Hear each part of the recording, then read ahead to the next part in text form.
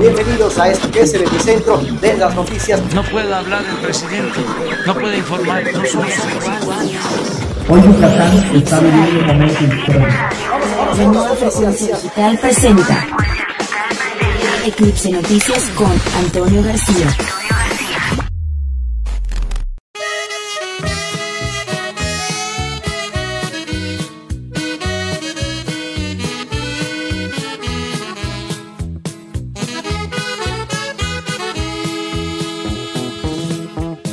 Ya está cerrada con tres. Damas y caballeros, saludos cordiales. Qué gusto saludarles y darle la más cordial bienvenida a través de esta frecuencia radiofónica de Grupo Eclipse, transmitiendo como cada tarde completamente en vivo desde nuestras oficinas corporativas a través de la fuerza del el streaming. Gracias, buenas tardes, bienvenidos. Estamos transmitiendo, como le comento, desde nuestras oficinas. Nos, eh, ubicamos en la calle 69, edificios altos con calle 68. Exactamente, estamos a una esquina eh, de la terminal de autobuses ADO. El teléfono en cabina lo pongo a su completa disposición como cada tarde, 9995 18 18 17. Y siempre es un gusto, es un placer tener la alta distinción de tener un equipo de trabajo aquí, por supuesto, que siempre me enaltece. Ángel Llanes de los controles, mi queridísimo Ángel, ¿cómo estás? Qué gusto saludarte. Buenas tardes, también saludo a nuestra compañera Edith Uque esta tarde. Edith, gusto saludarte, buenas tardes. Roger Canché, mi querido Roger, nuestro señor productor, ¿cómo estamos? ¿Bien? Qué gusto, caballero, como siempre. Gracias por el esfuerzo informativo de cada uno de ustedes. Bienvenidos, damas y caballeros. Estamos ya listos para entrar en materia con las noticias en esta tarde de hoy, miércoles 30 de agosto. Vamos a repasar, vamos a ver cómo va esta cuenta regresiva y seguimos arrancándole cada día una hoja a nuestro calendario que ya cada vez se va haciendo más delgado. Este calendario sí está cumpliendo su, su meta de, de quedar más delgado este año. Bueno, hoy estamos eh, a mitad de semana, miércoles 30 de agosto.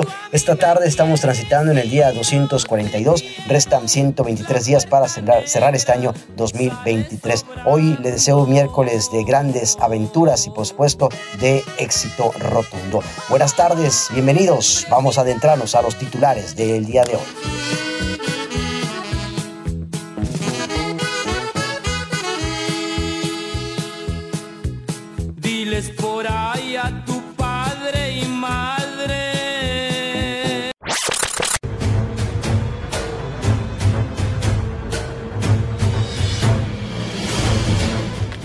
Monstruoso y destructor, el huracán Idalia, con vientos superiores a los 200 kilómetros por hora, tocó tierra esta madrugada en la costa oeste de Florida. Enviamos bendiciones desde Yucatán a nuestros hermanos damnificados. Además, destapan una cloaca de corrupción entre funcionarios del ISTE tras saquear más de 15 mil millones de pesos en la institución del sector salud. También, alarmante incremento en los casos de dengue aquí en Yucatán ya pusieron en alerta a las autoridades sanitarias al confirmar que hoy los niños son los más afectados. Con esto y más noticias, buenas tardes, buen provecho. Arrancamos con la información. Y como siempre, saludo esta tarde en la línea telefónica a nuestro compañero Daniel Martínez, que siempre va recorriendo buscando la información en tiempo real. Daniel, el reporte es tuyo. Atentos con tu información. Esto es el vial, vial. Porte vial.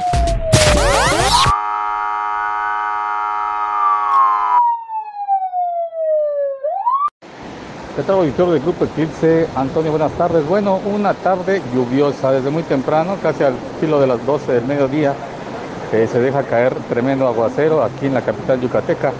Eh, bueno, pues la gente, como podemos ver, eh, la gente está eh, pues tratando de resguardarse un poquitito en esta lluvia. Estamos exactamente a la altura de los mercados y prácticamente paralizó la venta de los comerciantes mucha gente comprando nylon y pues sí, mucha gente esperando que cese un poquitito esta lluvia para poder seguir su destino. Fuerte, fuerte aguacero se está registrando prácticamente en toda la ciudad o partes donde ya no estaba lloviendo, ya comenzó a caer esta lluvia. Esta es la información, Antonio. Muy buenas tardes. Si me lo permite, quiero saludar esta tarde. Tengo en la línea telefónica a la licenciada Celina Herrera Manzanilla, quien es la metróloga de la Unidad Estatal de Protección Civil, a quien por supuesto le agradecemos cada tarde la gentileza, la amabilidad de compartirnos y actualizarnos el reporte meteorológico. Celina, un gusto saludarte. Adelante con tu información. Información del estado del clima. Vamos a conocer, vamos a conocer la información del clima. Pronóstico del tiempo. Antonio, les deseamos excelente tarde desde las instalaciones de protección civil de Yucatán. Actualmente se registra lluvia moderada y fuerte con actividad eléctrica en el poniente y zona costera de Yucatán, incluidos los municipios de Mérida, Motul, Cizantum, Silán González y sus alrededores, esperando que gradualmente se registre en el centro y oriente del estado, en los municipios de Izamal, Tizimín, Cenotillo, Valladolid, y sus alrededores, y en el cono sur, en Maní, Teabo, Oshkoshkap, Tecash, Aquil, Cantamayec, Zucacap, Peto y Chiquinzonot. Agradezco el tiempo de tu espacio y aprovecho para invitarlos a seguir las redes oficiales de Procivi. Mi queridísimo Roger, ¿con qué arrancamos esta tarde?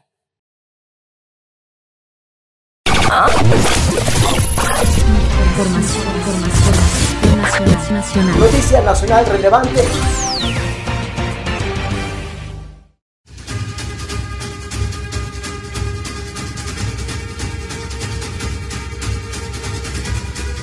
Perfecto, señor. Iniciamos con la información nacional porque vaya escándalo que se está dando al destapar una cloaca de corrupción entre funcionarios del ISTE tras saquear más de 15 mil millones de pesos en la institución del sector salud durante 12 años. Esto fue denunciado por la propia Procuraduría Fiscal de la Federación. Le explico y le comento. El Procurador Fiscal de la Secretaría de Hacienda, Félix Arturo Medina, ha informado que se identificó un esquema de saqueo y defraudación que afectó el patrimonio del instituto durante más de 12 años por aproximadamente 15 mil millones de pesos. A los involucrados se les acusa de cometer los delitos de asociación delictuosa, falsificación de documentos, falsedad en declaración y ejercicio ilícito. A la fecha, en coordinación con la Fiscalía General de la República, se han judicializado a 22 personas. Además, se obtuvieron ocho vinculaciones a proceso en contra de tres personas por la comisión de estos delitos. Con esto, se ha logrado asegurar cheques por más de 1.188 millones de pesos. Información local. Noticia local, noticia desde Yucatán. Noticia local, noticia desde Yucatán. La información local de esta tarde, bueno, pues está siendo alarmante, preocupante este aumento en los casos de dengue aquí en Yucatán. Ponga usted atención a esta noticia porque hay una alerta de autoridades sanitarias al confirmar que hoy los niños son los más afectados. La Secretaría de Salud en Yucatán emitió un aviso de alerta a la comunidad médica en general para que primero detecte, valore, canalice y reporte inmediatamente los casos sospechosos de dengue que tienen una curva impresionante vertical en el número de enfermos por la picadura de mosco Aedes aegypti. De acuerdo con el aviso de la vigilancia epidemiológica de la Secretaría de Salud del Gobierno Federal, en Yucatán están circulando los cuatro serotipos de dengue y hasta la semana 32 habían 1.669 casos confirmados, lo que es un aumento de más del 100% en comparación con el 2022.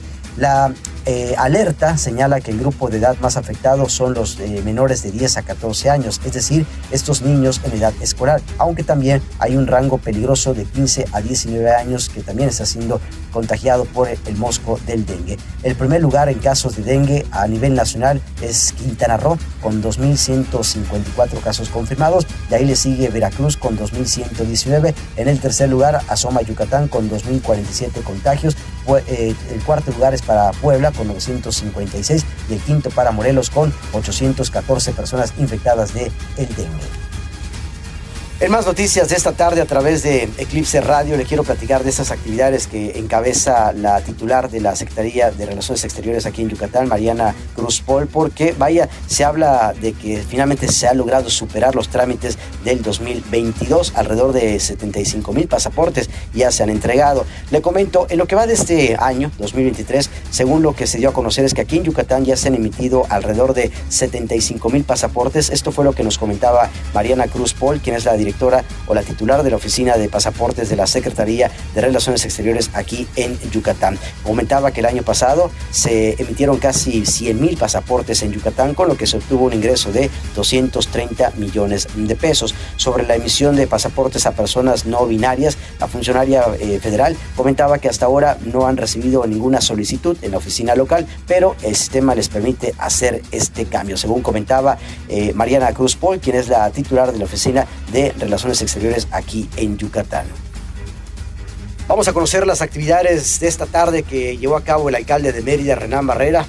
Bueno, pues le comento que mediante el trabajo coordinado entre los tres niveles de gobierno, Yucatán y Mérida, contribuyen al desarrollo de la nación con la implementación de acciones y obras que generan bienestar social, desarrollo económico, eh, empleo para las familias yucatecas y esto fue dado a conocer por el alcalde de Mérida, Renán Barrera. En un acto protocolario que se llevó a cabo en el Salón de los Retratos del Centro Cultural Olimpo, el presidente municipal Renán Barrera, acompañado del secretario de la comuna, Alejandro Ruz Castro, y Francisco Hoyos Aguilera, coordinador ejecutivo de este proyecto, en representación de Luis eh, Salasque, comisionado del Servicio de Protección Federal, firmaron un convenio, una importante eh, rúbrica de colaboración entre el Servicio de Protección Federal y el Ayuntamiento de Mérida que enmarca o enmarcará las acciones que estarán aplicando de manera positiva a la población, según destacó el alcalde Renán Barrera. También le quiero comentar esta tarde que el próximo domingo 3 de septiembre, atentos porque en 21 centros de consulta y 57 mesas de participación, los yucatecos podrán elegir a la que será la coordinadora nacional del Frente Amplio por México y virtual candidata presidencial de la oposición. Como se sabe, las eh, aspirantes son la panista Xochitl Galvez y la priista Beatriz Paredes. Los centros de consulta estarán recibiendo los votos de las 9 a 5 de la tarde, al igual que en las elecciones constitucionales se usará la tinta indeleble que para marcar el dedo de quien actúe eh, o acuda a manifestar su simpatía por la aspirante de su preferencia. En este mismo sitio se hará el recuento de votos y por la noche se darán los resultados. En conferencia de prensa, María Eugenia Núñez Zapata, representante de esta organización eh, civiles encargada del proceso, indicó de los 21 centros de consulta, eh, 6 estarán aquí en media. Escuchemos parte de lo que nos declaró ante los micrófonos de Eclipse Radio todas las ocasiones, así sea la causa electoral o cualquier otro tipo de causa ciudadana, comienza así. Todas quienes estamos participando de la sociedad civil sabemos de las dificultades de poder convocar ampliamente, de poder llegar a, los, a los medios de comunicación. Ustedes son básicos en todos los ejercicios democráticos del país, porque ustedes son los que terminan difundiendo las oportunidades de expresión ciudadana a donde pueden acudir aquel que no está politizado, vamos a decirlo. Netamente este es un ejercicio ciudadano que tiene limitantes, claro, para comenzar limitantes presupuestales y para terminar limitantes técnicos, porque es un proceso nuevo. Eso no le resta credibilidad. Información internacional. Información. Noticias internacional. Noticia internacional relevante.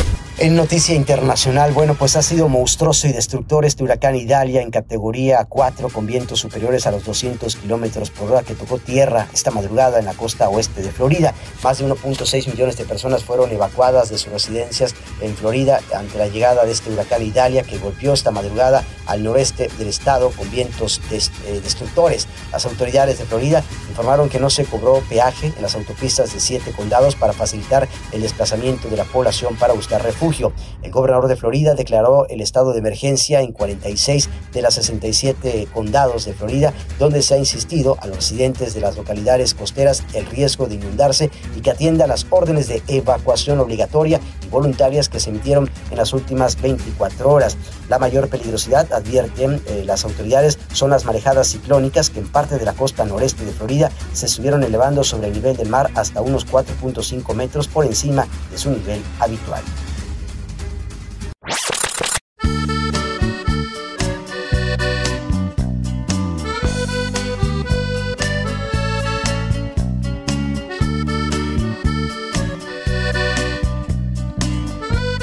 Señoras y señores, hasta aquí con las noticias. Gracias por haberme acompañado esta tarde. Gracias, por supuesto, por estar siempre en sintonía a través de grupoeclipse.com.mx. Agradezco también el esfuerzo de mi compañero Ángel Llanes, Edith U y Roger Canché en este espacio informativo. En los micrófonos se despide Antonio García, deseando que tenga usted una excelente tarde. El decreto de este miércoles, quien critica todo lo malo que hay en ti es porque no soporta lo bueno que ven en ti. Miran con morbo tus errores porque no son capaces de verse en un espejo. Saludos cordiales, buen provecho, buenas tardes. Recuerde, nuestra fuerza vía streaming llega a cada rincón del globo terráqueo. Buenas tardes, hasta mañana.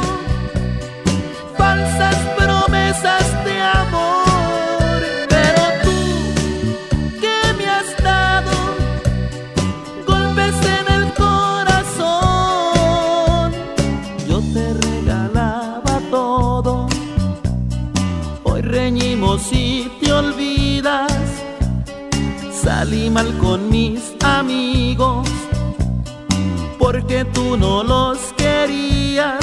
ver.